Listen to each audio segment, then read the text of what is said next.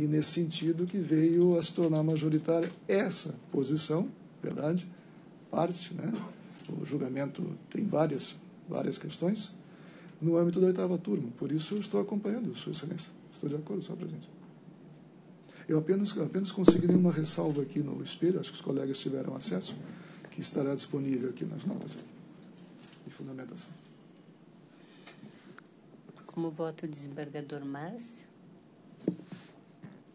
Excelência, eu tenho uma uma compreensão um pouquinho eh, diversa do, do artigo 33, parágrafo 4 entendendo que eh, o parágrafo 4 quando estabelece a necessidade de o réu devolver aos cofres públicos o que o que eh, amealhou com o ilícito, eh, se trata de um regime eh, de punição adicional aos crimes contra a administração pública. Integra a pena essa obrigação de devolução que estabelece eh, uma livre possibilidade ao réu, no sentido de ou devolve o que amealhou, ou a pena por aumentar, a, a, por estar presente, um dano maior à, sociedade e não, não se ver ressarcida,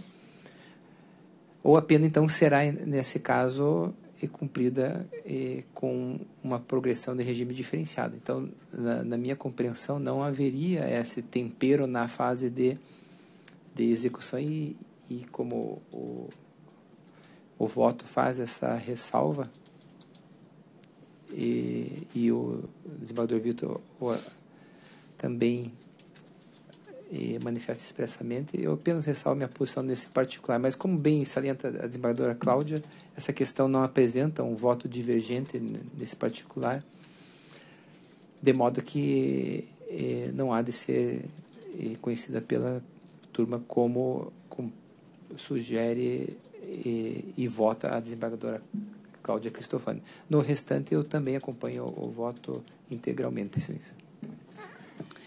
Então, a sessão, por unanimidade, decidiu. Senhor não... presidente, me desculpe interromper, só uma questão de ordem, antes da proclamação do resultado. A, a doutora Cláudia Cristofani, no final do voto dela, ela mencionou que constaria alguma coisa com relação aos efeitos. Eu não sei se foi uma leitura ipsis literis do voto ou se ela apenas resumiu, mas ela disse que aguardaria o final das instâncias ordinárias. Como ainda é possível a oposição de embargos de declaração, eu queria saber exatamente como consta no voto só para.